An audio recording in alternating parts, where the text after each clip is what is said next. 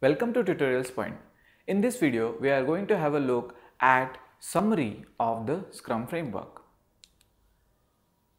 As shown in figure, first there is product backlog. Product backlog is created by the product owner in coordination with the stakeholders and the development team members. Product backlog is continuously evolving during the process. Now, when there is a product backlog, the Scrum team, including Scrum Master, Product Owner, and the development team, gathers together in the sprint planning meeting. At the end of sprint planning meeting, the team decides on the sprint, which can be for 2 to 4 weeks. And during the sprint, what exact work is to be done is understood from the product backlog.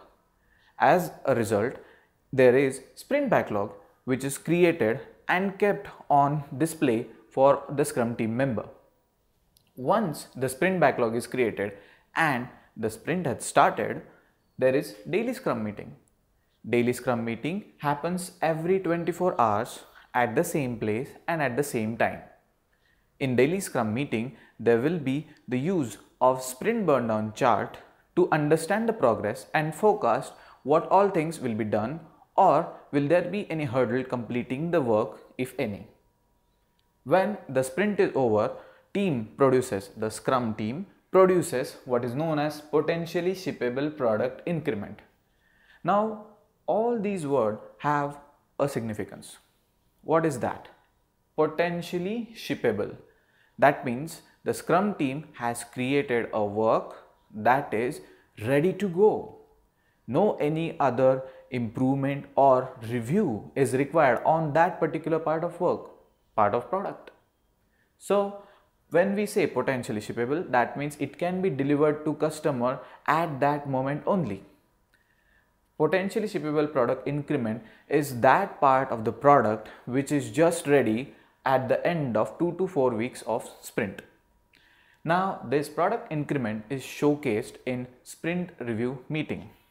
In sprint review meeting, there will be Scrum team members and the stakeholders as well. Lastly, when the sprint review meeting is done, there is time for sprint retrospective, where Scrum team members will talk about what went well or what can be improved, and again what went wrong, which is the critical part.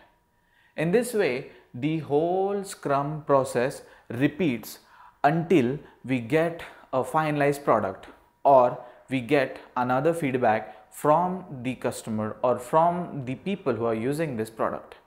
In this way, as they said, use this process, rinse and repeat. That is all from the Scrum summary. Thank you so much for watching.